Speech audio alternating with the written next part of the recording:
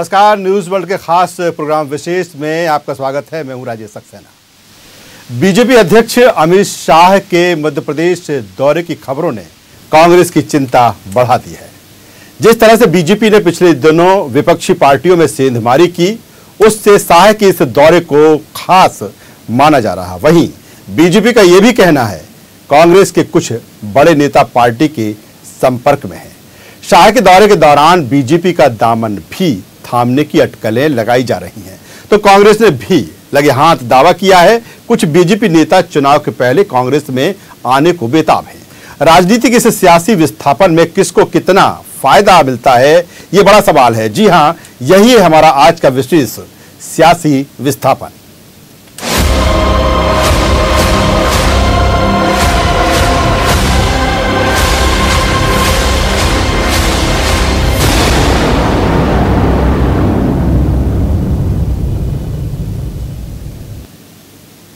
इससे पहले कि इस मुद्दे पर हम चर्चा करें और अपने मेहमानों से आपका परिचय कराएँ, देखते हैं खास रिपोर्ट। मध्य प्रदेश में मिशन विधानसभा और लोकसभा को लेकर शतरंज की बिसात लगभग जम चुकी है। बीजेपी शिवराज सिंह के नेतृत्व में विधानसभा चुनाव लड़ेगी। फ़िलहाल तो कुछ ऐसे ही समीकरण बन रहे हैं। प्रदेश में अपनी ज़मीन खो चुकी कांग्रेस भी कुछ मुद्दों को लेकर मज़बूत नज़र आ रही है। कांग्रेस किसके चेहरे के साथ चुनावी मैदान में होगी?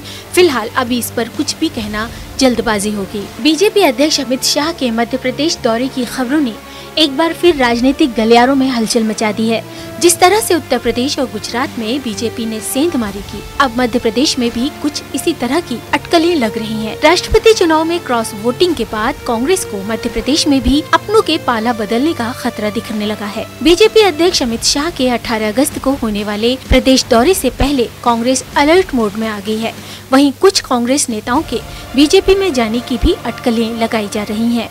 देखिए, मेरा ऐसा मानना है कि भारतीय जनता पार्टी के दरवाजे हर किसी के लिए खुले हैं। हम किसी को प्लानिंग करके लेकर के नहीं आ रहे हैं। अगर किसी को लगता है कि हम भाजपा में आना चाहते हैं तो उनका स्वागत है। खबरें हैं, पूर्व के मामलों से सजग हुई कांग्रेस ने अब अपने विधायकों पर नज़र रखना शुरू कर दिया है। कांग्रेस ने अपना खुफिया तंत्र सक्रिय कर दिया है। वहीं पार्टी का दावा भी है कि कुछ बीजेपी नेता उनके संपर्क में है जो कांग्रेस ज्वाइन करने वाले हैं। और यदि कोई जाने को तैयार है तो हमारे पास भी भारतीय जनता पार्टी के कुछ लोग चर्चा कर रहे हैं। और उन्होंने ये भी कहा है कि कुछ समय और नज़दीक आ जाए, चुनाव के तब आएँगे दल बदल की इस राजनीति में मलाई खाने वालों की होड़ मची हुई है। वहीं अपनी ही पार्टी में सालों से जमे नेताओं की उपेक्षा भी पार्टी में बगावत बढ़ा रही है। कांग्रेस का दामन छोड़कर बीजेपी में शामिल हुए संजय पाठक को जहाँ शिवराज सरकार में मंत्री पद से नवाजा गया तो कांग्रेस में उपनेता प्रतिपक्ष रहे चौधरी राकेश सिंह चतुर्वेदी को बीजेपी में शामिल होने के बाद कुछ खास नसीब नहीं हुआ। वहीं बीजेपी का कमल थामने वाले राव उदय प्रताप और डॉक्टर भागीरथ प्रसाद को बीजेपी ने लोकसभा की टिकट से नवाजा और आज दोनों सांसद हैं। लिस्ट लंबी है। कुछ और भी नाम हैं जो बीजेपी में शामिल तो हुए, पर आज गुमनाम है। News world.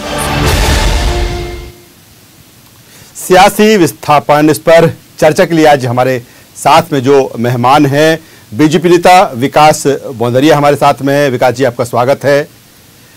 कांग्रेस नेता और प्रवक्ता रवि सक्सेना जी हमारे साथ में है। रवि जी, आपका स्वागत है। और वरिष्ठ पत्रकार रमेश शर्मा जी, रमेश जी, आपका भी स्वागत है।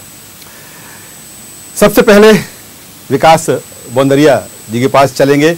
विकास जी, जिस तरह से अमित शाह का दौरा है और मध्य प्रदेश में जो सियासी पारा है, वो तेज हो गया है। खास तौर पर इन अटकलों को लेकर कि अमित शाह जहाँ भी जाते हैं, जो विपक्षी पार्टियों के कोई न कोई नेता बीजेपी ज्वाइन कर लेते हैं। कुछ ऐसी संभावना यहाँ जताई जा रही हैं। कितनी सच्चाई है, ये हम आपको जानने की कोशिश करेंगे। हालाँकि बीजेपी ने इनकार नहीं किया है। उन्होंने साफ़ तौर पर कहा है कि अगर आइडियोलॉजी से प्रभावित होकर कोई आता है तो स्वागत है। विकास जी।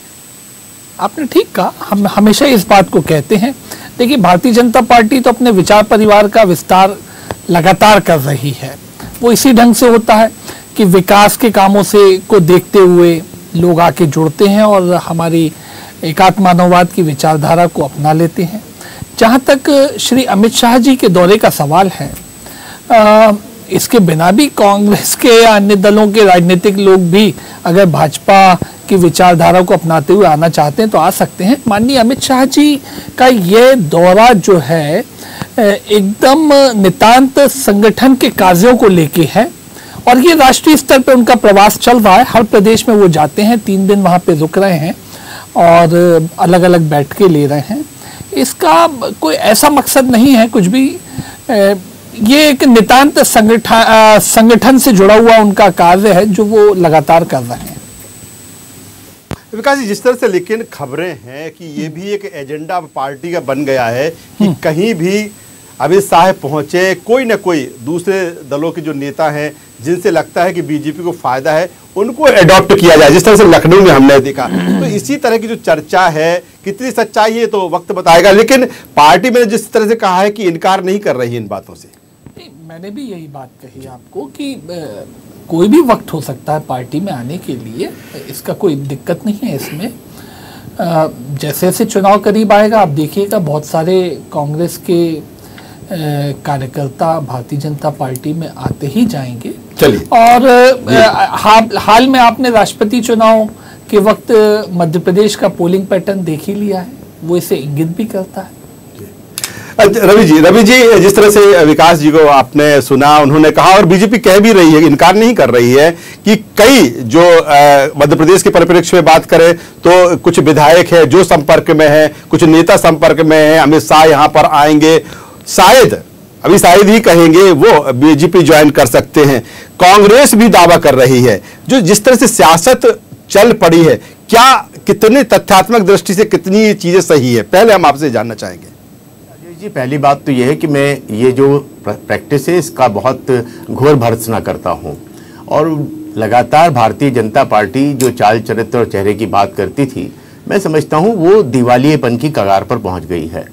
उसे मालूम ही नहीं है कि हम किस दिशा में जा रहे हैं।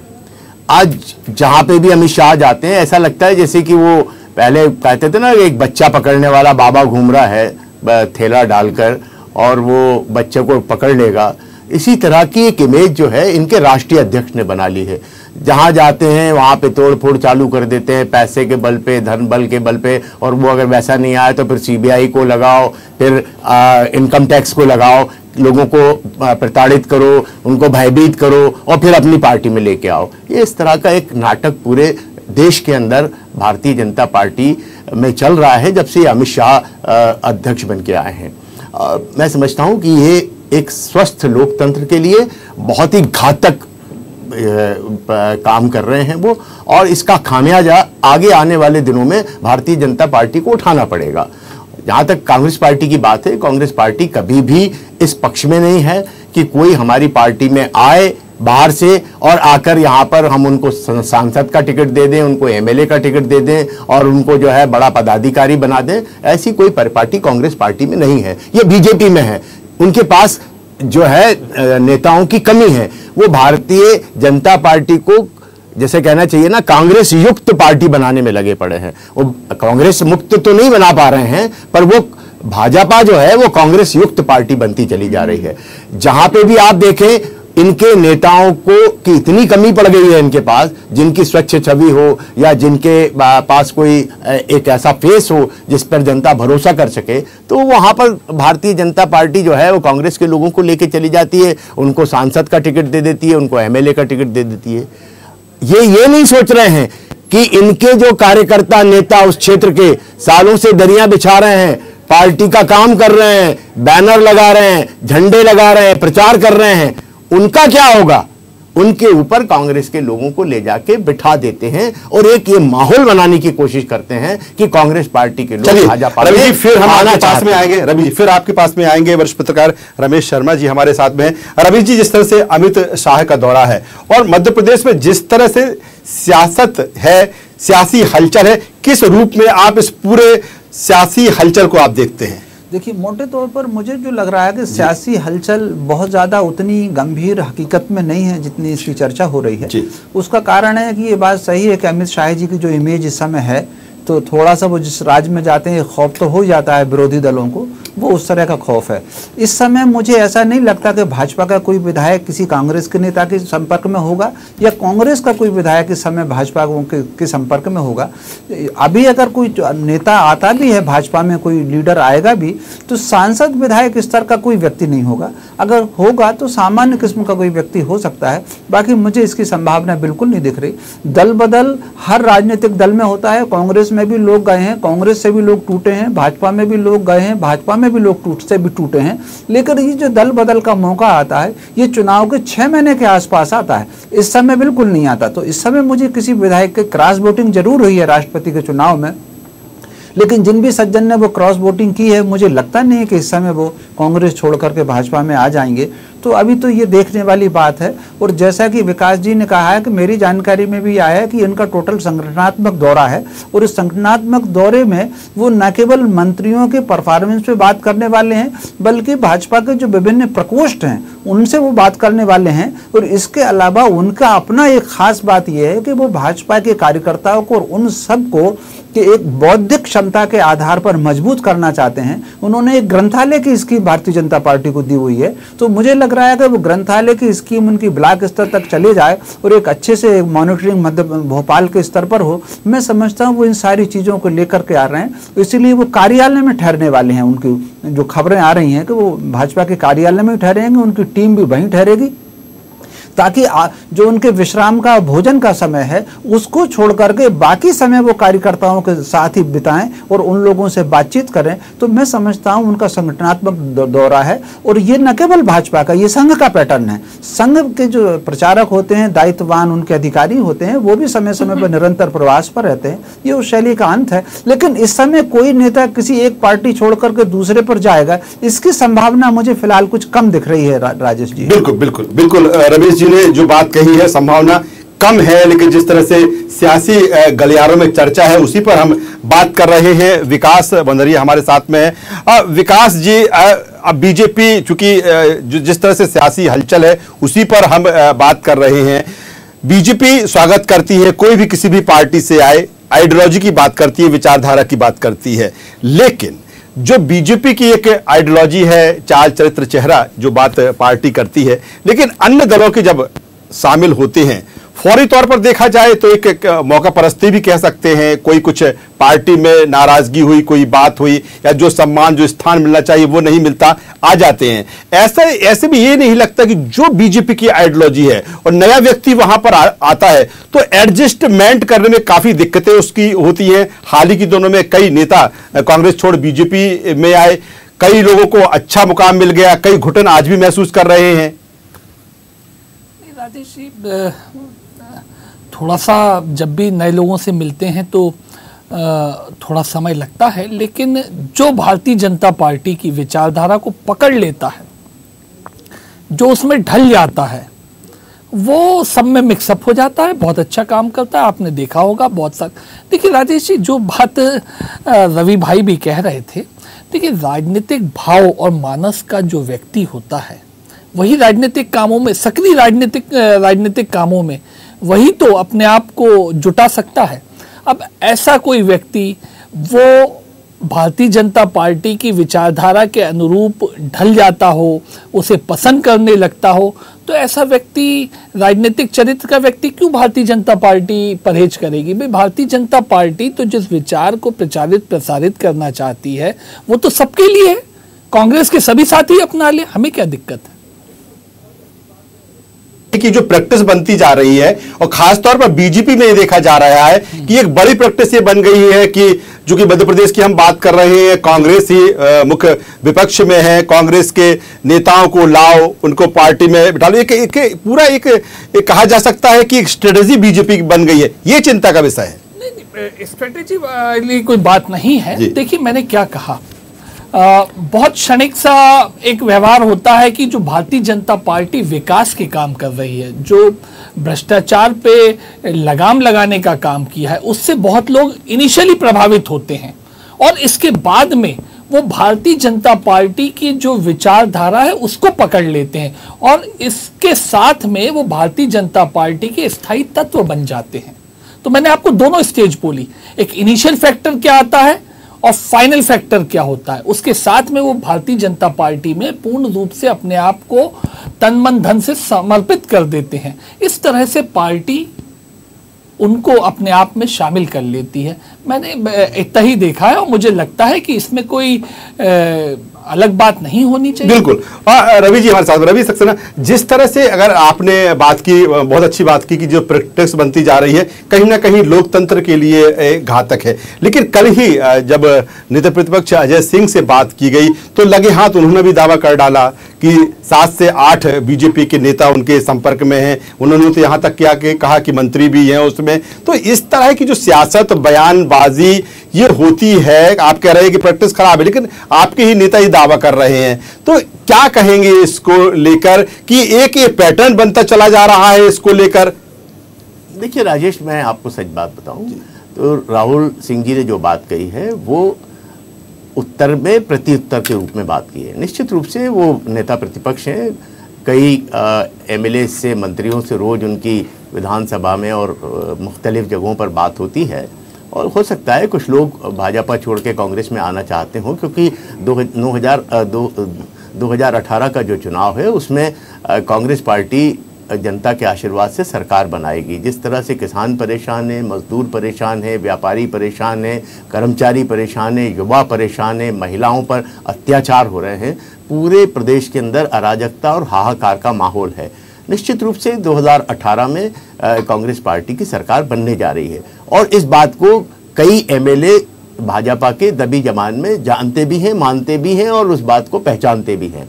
तो जो लोग हैं वो हो सकता है अवसरवादी बन के कांग्रेस पार्टी में आना चाहते हो उनसे उनकी बात हुई हो। पर मैं मैंने आपको कहा कि मैं आ, और हमारी पार्टी इस बात को बिल्कुल भी प्रश्रय नहीं देती है, इसका कोई समर्थन हम नहीं करते हैं कि इस तरह से लोगों को की खरीद फरोख्त की जाए, लोगों को जो है, पार्टी में शामिल किया जाए। अभी बोंद्रिया जी जो बात कर रहे थे, मुझे तो बहुत हँसी आ रही थी उनकी बात सुनकर। इनकी कौन सी विचारधारा है? भ्रष्टाचार की विचारधारा है? इनका कौन सा एकात्मवाद की बात करते हैं ये?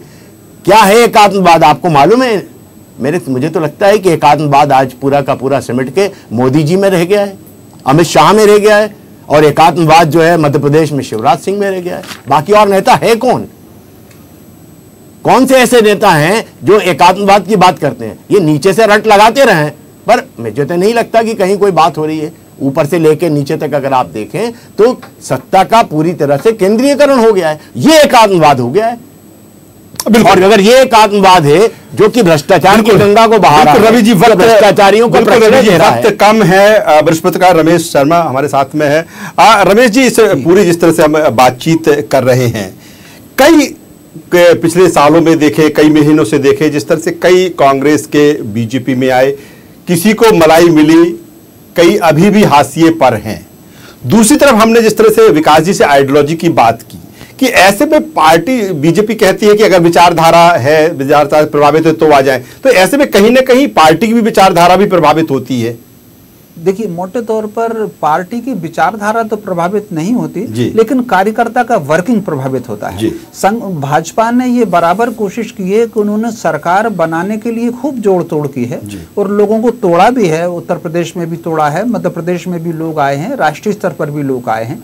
लेकिन अगर उनकी सरकार बहुमत में आ गई है और अगर बिना कंप्रोमाइज के बिना समझो गठबंधन के सरकार आई है तो उन्होंने फिर विचारधारा के प्रचार का बराबर कोशिश की है जो उत्तर प्रदेश में भी कर रहे हैं, मध्य प्रदेश में भी कर रहे हैं। लेकिन इससे कार्यकर्ता का जो व्यवहार होता है, उसकी वर्किंग में थोड़ा सा फ़र्क आता है और ये वर्किंग दो तरह से मैंने देखा है, भाजपा के कार्यकर्ताओं में अंतर आना। एक तो जो बाहर का कार्यकर्ता आया हुआ है, उसके जीवन का स्तर, उसके रहने सहने का अंदाज थोड़ा सा अलग होता है। तो वो अंदाज कार्यकर्ता पर प्रभाव डालता है और दूसरा कहीं ना कहीं उसके भीतर आ जाने से पार्टी का जो ओरिजिनल कार्यकर्ता है, उसमें थोड़ी सी एक कुंठा का भाव या असहज का भाव आता है तो वो यहाँ वहाँ बनता है। लेकिन जब से राजनीतिक दल बने हैं देश में, तब से हर दल में लोग तोड़कर भी गए हैं, वापस भी लौट कर आए हैं। एक लंबा सिलसिला चल रहा है। मैं उदाहरण ही देना चाहूँ, जनसंघ के विधायक थे रमेश दुबे शाजापुर से। वो कांग्रेस में चले गए, कांग्रेस ने भी उनको टिकट दिया। अर्जुन सिंह ने कांग्रेस छोड़ दी थी, फिर दोबारा कांग्रेस में चले गए। गोविंद नारायण सिंह जी ने कांग्रेस छोड़ करके जनसंघ से मिलकर के मध्य प्रदेश में सरकार बना ली थी, दोबारा लौट करके चले गए। शंकर सिंह बाघेला गुजरात में प्रचारक रहे संघ के, भाजपा के वरिष्ठ नेता रहे, मोदी जी से सीनियर नेता रहे। वो इस समय कांग्रेस के बड़े नेता थे, फिर उन्होंने दोबारा छोड़ दी। तो ये राजनीतिक दलों में आना जाना बना रहता है। ये अलग बात लेकिन है। लेकिन लेकिन आखिरी कोर्ट पर आएँगे क्योंकि वक्त कम है रमेश जी, जी। कि जिस तरह से सेंध हमारी चल रही है किसी भी दल की हो हम एक पर्टिकुलर एक बीजेपी या कांग्रेस की बात नहीं कर रहे हैं। लोकतंत्र के लिए ये कितना घातक है। जिस तरह से एक लगातार आज मालूम पड़ा एक घंटे पहले किसी पार्टी में एक घंटे बाद किसी दूसरी पार्टी में चला गया। ये जो एक प्रैक्टिस बन रही है कहीं ना कहीं लोकतंत्र के लिए कितना घातक आप मानते हैं निश्चित रूप से ये इससे लोकतंत्र की गरिमा कम होती है और फिर जो भी राजनीतिक दल जिस विचार पर काम कर रहा होता है कहीं ना कहीं वो विचार भी इससे कमज़ोर होता है। ये विचार कांग्रेस का भी कमज़ोर हुआ है और आगे चल करके भाजपा में फ़र्क आएगा मैं एक उदाहरण देना चाहता हूँ दो उदाहरण देना चाहता हूँ। स्वदेशी का नारा या बंदे मातरम में रामराज की कल्पना मूलतः कांग्रेस की थी। लेकिन बाहर के लोग गए जो उठापटक उसमें शुरू हुई और सत्ता की राजनीति शुरू हुई कांग्रेस ने ये तीनों चीज़ें छोड़ दी। स्वदेशी का आंदोलन जो गांधी जी का था वो भी सारी छोड़ दी। राम मंदिर से भी पीछे हुए रामराज की कल्पना गांधी जी की थी उससे भी पीछे हुए। ठीक अभी इस समय भाजपा इस, इस मुद्दे पर लगी हुई है। आगे चलकर अगर बहुत ज़्यादा लोग आए तो स्वाभाविक रूप से व्यक्ति किसी भी राजनीतिक दल का मूल सिद्धांत इससे कमज़ोर होता है और इसके अलावा लोकतंत्र की गरिमा भी कम होती है चलिए चलिए बहुत अच्छी बात की अ, लोकतंत्र की गरिमा कम होती है और जिस तरह से अमित शाह का मध्य प्रदेश दौरा है, तमाम तरह की अटकलें हैं तो देखने वाली बात होगी। लेकिन कुल मिलाकर देखा जाए, जो लगातार प्रैक्टिस बनती जा रही है सेंधमारी की, और जो एक लोकतंत्र को कहीं ना कहीं जो इससे नुकसान पहुँच रहा है, एक बड़ा सवाल इस समय सभी के बीच में है। आज हमारी इस चर्चा में बीजेपी नेता विकास बंदरिया, कांग्रेस नेता रवि सक्सेना और वरिष्ठ पत्रकार रमेश शर्मा जी जुड़े। आप तीनों का बहुत बहुत शुक्रिया।